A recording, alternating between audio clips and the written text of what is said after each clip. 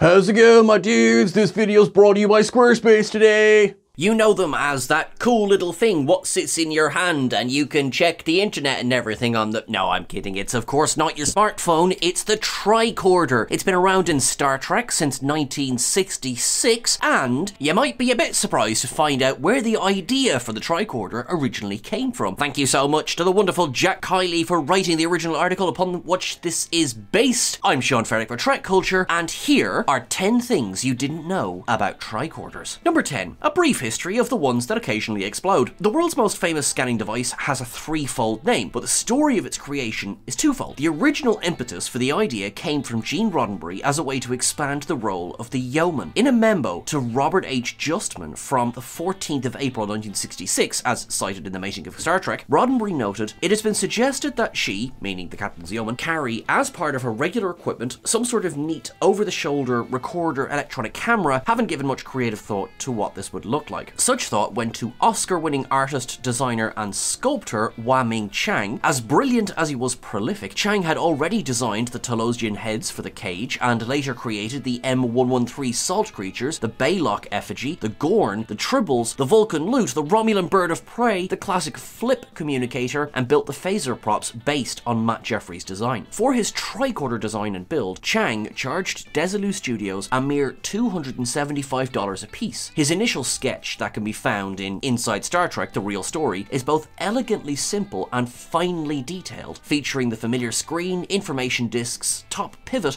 and push buttons that make the device iconic with or without a certain tendency to explode. Number 9. Naming Magic. According to the Starfleet Medical Reference Manual, tricorders are, in practice, a small sensor computer recorder or a tri-function recorder. The fact that the meaning of the name has never been discussed explicitly on screen gets the Star Trek Lower Decks treatment in the soon-to-be released USS Cerritos Crew Handbook. As Ensign Rutherford states, good old trikey, they call it a tricorder because it gourds so many more than three things. In Star Trek Enterprise, they were just called hand scanners, of course, simpler times. What it does, cord, as a matter of advanced future science fact, does just as well to be mostly indistinguishable from magic, a handy device to move the plot along. We're never actually shown the tricorder operations manual. Occasionally, TV magic also clashes with in-world practicalities. Just how did Voyager get those tricorder upgrades in season 2? If you believe Rick Sternbach, they had them in the cargo bay all along. The original series era tricorders weren't given a model number until perhaps most recently in Those Old Scientists, when Boimler suggested that TS-122 might be the model's true name, with the TS-120 being a predecessor. Trek's following century then gave us a whole new series of names for a brand new series of tricorders. Number 8. Next Gens. From Star Trek The Next Generation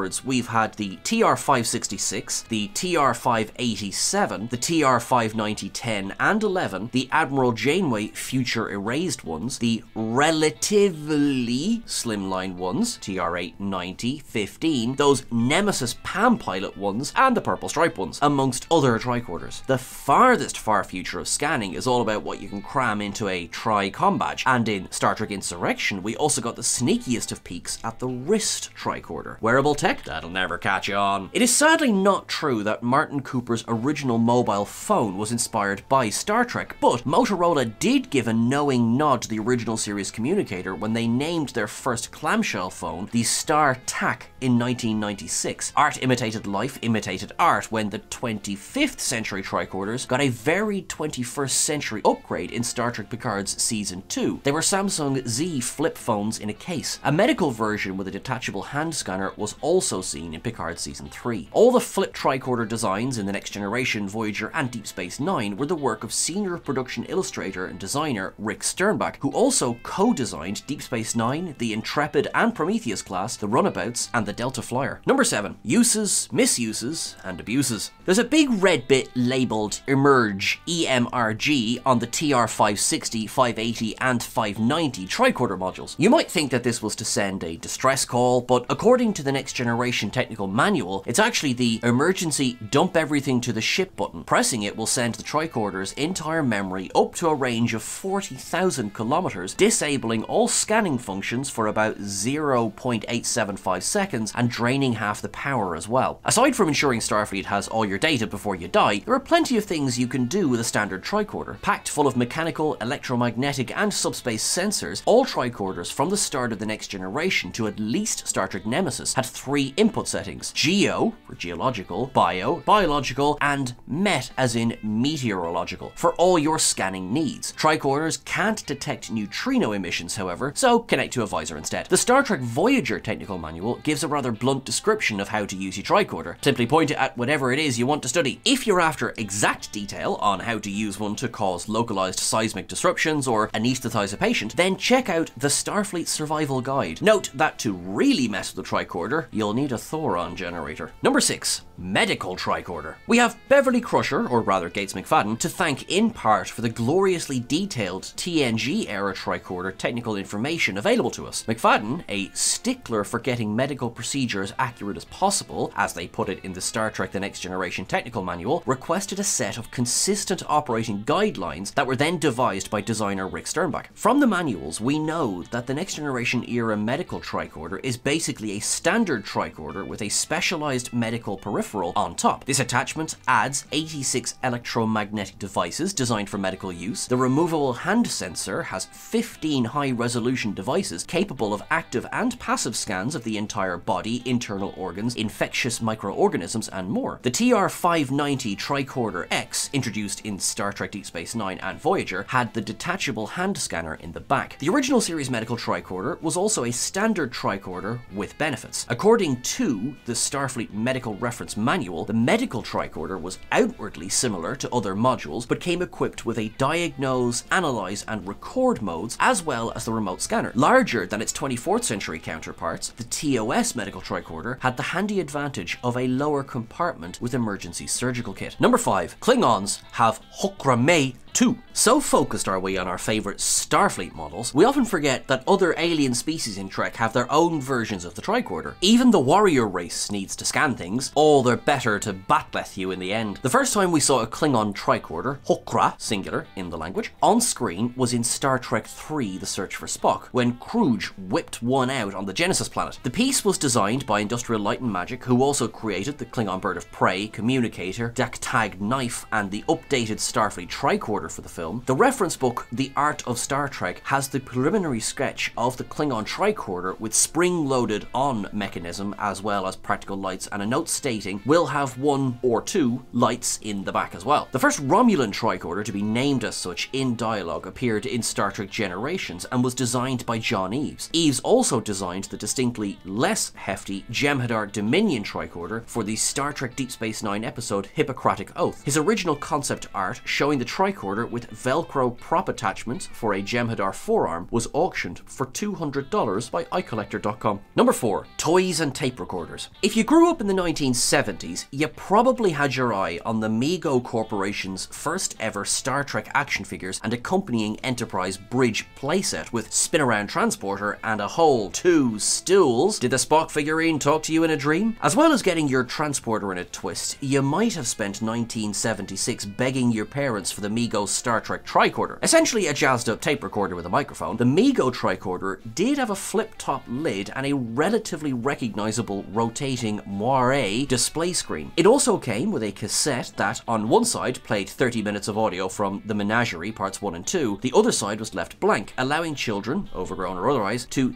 tape their own adventures, as a commercial from the time put it. Why was it blue? Dabba dee dabba damned if I know. The design of toy replica tricorders has certainly improved over the years. The Playmates and Diamond Select varieties certainly look the part, and the technology is keeping up too. The Wand Company is set to release a functional original series style tricorder with actual sensors and sound recorder, a working display screen, and interchangeable data discs. Number 3. Whatever happened to the Psycho tricorder? This isn't the name of a bloodthirsty sentient tricorder that will stab you in the shower, it's an offshoot of the medical model that only ever featured in one episode of the original series, Wolf and the Fold. The Psycho Tricorder, as seen in that episode, was also just a standard tricorder prop, capable of scanning and recording memories and of psychological examination more generally. The Psycho Tricorder could be operated by a medical technician, although they might get killed by Jack the Ripper before they can get to the bottom of any hysterical amnesia. The Psycho Tricorder has appeared in a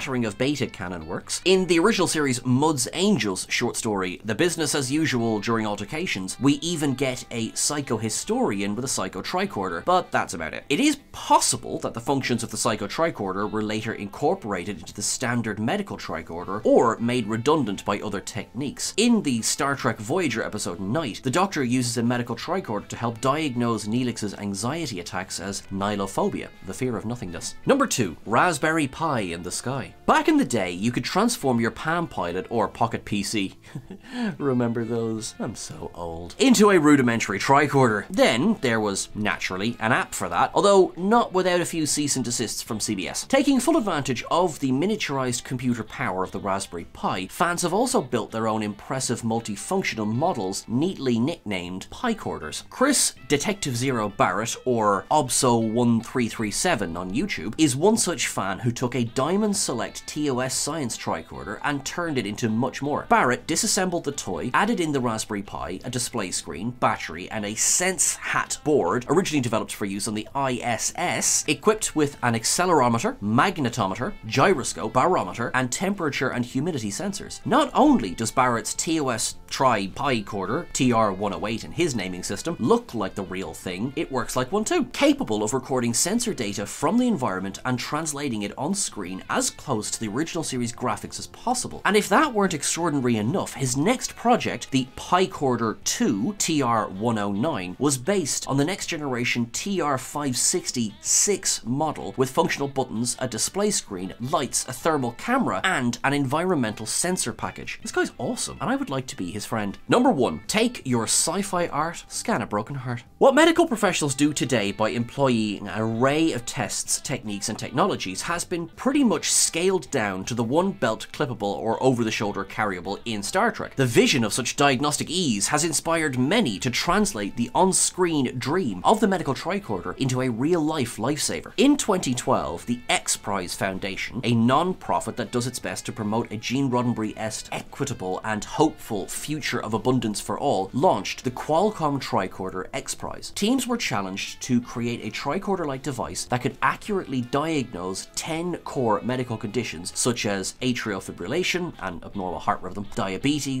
or stroke, and three elective conditions including hypertension, mononucleosis, glandular fever, and HIV. The device also had to be capable of monitoring five vital signs in real time. Five years later, no participant had met all of the criteria for the $10 million grand prize, but the Trekly named Final Frontier medical devices won the first prize of $2.6 million for DXTER, an at-home medical instrument kit with AI diagnostic app. Voyager's EMH Robert Picardo even opened the awards ceremony with the required please state the nature of the medical emergency. Dudes, it's your favorite Risian meteorologist Chad Tarka here to tell you about the awesomeness of Squarespace. They've got the next generation of technology with their fluid engine. You know me, my friends. I'm Salt the Riser. I don't get that techno babble. So when I talk about fluid engine and how awesome Squarespace is to use, even I can use it. If I can, you can. They can even help you make custom merch. Chad Tarka neck brace is coming soon. And you can sell it via the online store that yeah, they offer. And when you're ready to rip some waves like me, go to squarespace.com forward slash Trek Culture for a free trial and for 10% off your first website or domain purchase. You're awesome, my dudes. Do the awesome thing. Chad Tarka out. That is everything for our list. This has been one of the most fascinating ones I've recorded in a while, so thank you so much to Jack Kiley for the original article on which this is based. Thank you as well to Mel Braun for editing this into the beautiful video you have just seen. Folks, don't forget to go and follow us on Twitter at Trek Culture. You can follow us on Instagram at Trek Culture YT, and we are of course on Blue Sky as well at Trek Culture. Please make sure that you are liking, sharing, and subscribing. Make sure that you live long and prosper. Make sure that you look after yourselves. Give yourself a scan every so often to make sure that everything is going okay for you. Thanks a million, and I'll talk to you soon. Bye.